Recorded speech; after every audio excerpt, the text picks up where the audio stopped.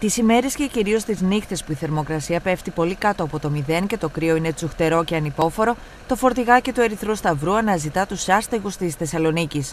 Οι εθελοντές της φιλανθρωπικής οργάνωσης εντοπίζουν εκείνους που ζουν στο δρόμο και κοιμούνται σε χαρτόκουτα και κάτω από αυτοσχέδιες τέντες και τους προμηθεύουν με τρόφιμα, ζεστά ροφήματα και κουβέρτες. Είναι αυτή η δράση που κάνουμε στους δρόμους της πόλης της Θεσσαλονίκης για να βοηθήσουμε αστέγους και άτομα που έχουν ανάγκη.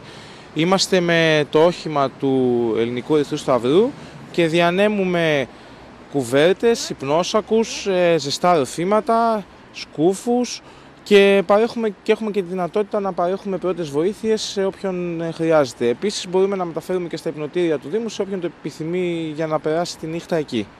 Παρά τη λειτουργία υποδομών για τη διανυκτέρευση των αστέγων, όπως είναι το υπνοτήριο, δεν είναι λίγοι εκείνοι που αρνούνται να μετακινηθούν από το δρόμο. Πόσου εξυπηρετείτε κατά μέσο όρο κάθε βραδιά που βγαίνετε ή κάθε φορά; Δεν είναι σταθερός ο αριθμός γιατί λόγω του, του ψύχους που επικρατεί δεν είναι εύκολο να τους εντοπίσεις. Συνήθως 15, 20, 25 άτομα ε, μπορεί και να εντοπιστούν.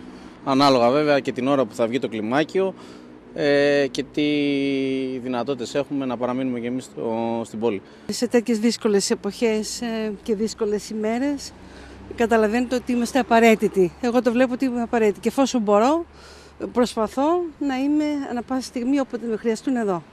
Το κλιμάκιο εθελοντών του Ερυθρού Σταυρού πραγματοποιεί συχνά εξορμήσεις για τη στήριξη των ανθρώπων αυτών.